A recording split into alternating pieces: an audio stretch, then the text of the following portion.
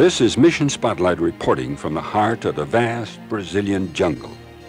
A success story has been in the making here for the past decade. Some years ago, an agricultural industrial school was envisioned by Bob Habenicht, a man who sensed the need to train Brazilian youth in vocations and agriculture. In the mid-1960s, Habenicht finalized arrangements with the government for the Seventh-day Adventist Church to accept 6,000 acres of land. There was no money, but Bob mortgaged his car, moved his family to the jungle, carved away at the trees, and devised ways to fulfill his conviction. Habenicht's dream was contagious. Others began to volunteer help. Soon shelters were taking shape from the virgin forests. At this time, Marvin and Phyllis Glantz were living on a farm in Wyoming. The call to Brazil to grow food challenged them. In the heart of the Amazon jungle, Marvin discovered that clearing the land, piping water from the river, and analyzing the soil was a monumental undertaking. There were no funds for a greenhouse, a crude shelter, a hand watering can, and prayer nurtured the first seedlings. Finally, the day came when Glantz began to market produce in the Amazon River port of Manaus, 40 miles away. But the real solution to production was controlled conditions under shelter. Yield was 20 times greater when the plants were protected from the heavy rains. With shelters enough to care for the immediate needs and food production a reality, the aim of starting the project was in sight. In 1967, 11 students enrolled for classes. The developing years were tough and trying, but the need for this school was very evident. By 1974, there were 124 students. Scores more had been refused admittance. There was no more room. That year, a portion of the 13 Sabbath offering was designated for the development of this school. Sabbath school members responded. Over $100,000 was provided. With this initial investment by the church, the German and Dutch governments added another 300,000. Mission Spotlight now shows the fantastic growth in the past five years. In 1974, Marvin stood in front of one of his greenhouses. Each house, he said, costs about $1,000. But each will bring a gross return of more than that amount each year. Longingly, he expressed hope to add more greenhouses.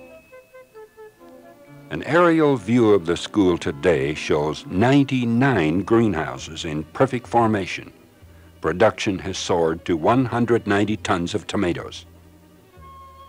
The 100th greenhouse, says Marvin, is the church.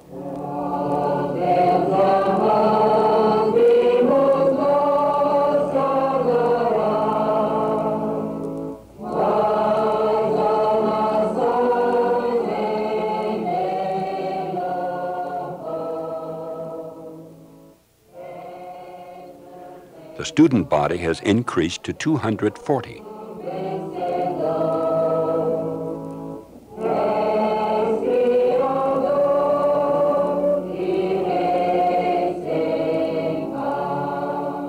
For years, students provided their own hammocks.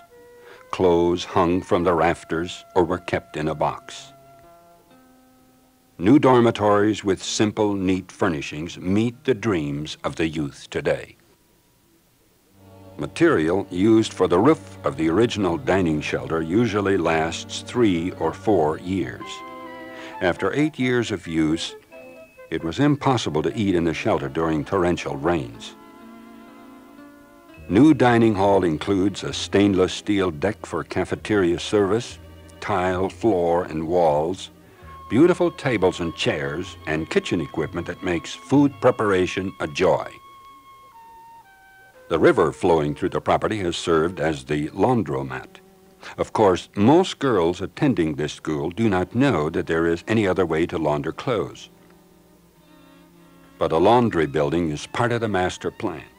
As final construction is completed, equipment will be installed and a new phase of training for the girls will begin. A dam is scheduled for completion in 1979.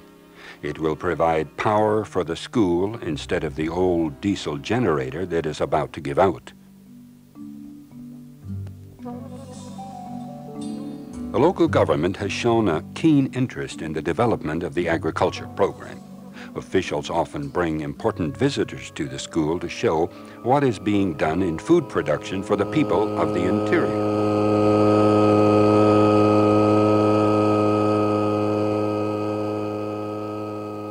The agriculture director of the Free Zone Administration says Glantz has revolutionized the entire agriculture program of the Amazonas territory. Because cucumbers and tomatoes require special growing conditions, the greenhouses are used for these vegetables. One or two students are assigned to each house and it is their total responsibility to continuously care for that greenhouse.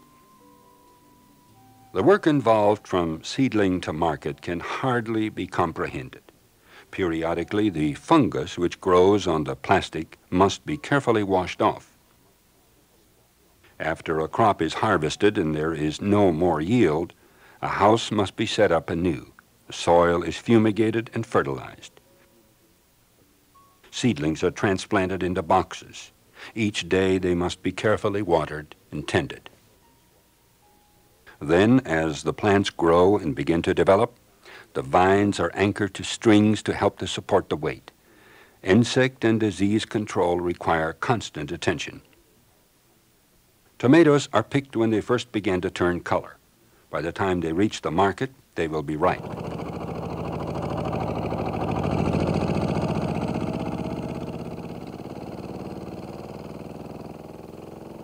The boxes of tomatoes are hauled from the greenhouses to a central sorting shed. Here, a careful record of each house is maintained. Students are keenly aware of the importance of their greenhouse production. Manaus merchants look to the school as their supplier for fresh vegetables. Glantz says his current price for tomatoes is 40 cents a pound. Local residents are glad to have locally grown produce available at the market.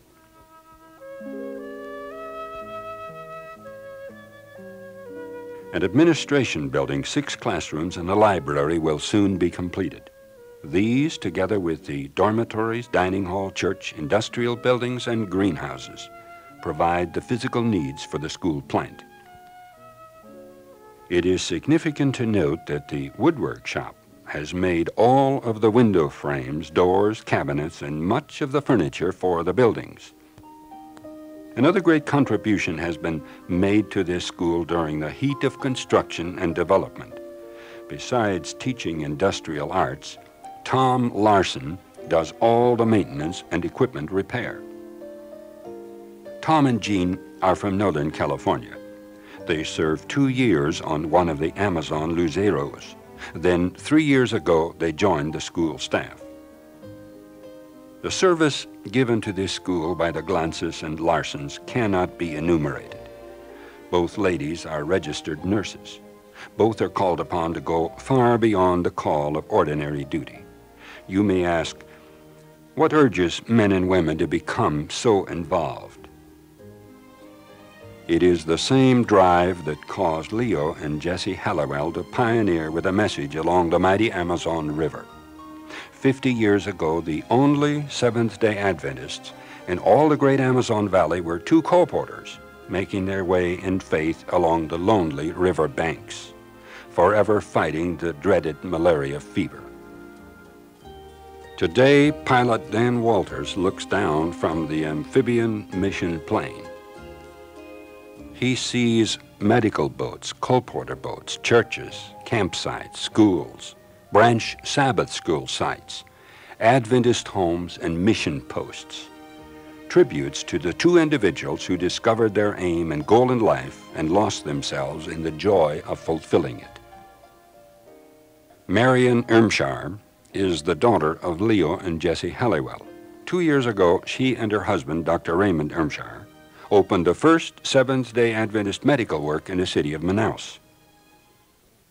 Marion says, It's a thrill to be back and have a part in starting the medical work in the place where my folks started the first church. The words of the song sung by the choir at the Amazon Agriculture School summarizes this report so beautifully. Gloria, Gloria,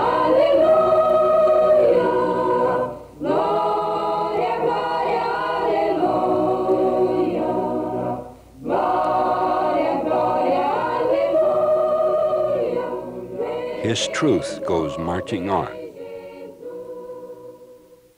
This is Mission Spotlight.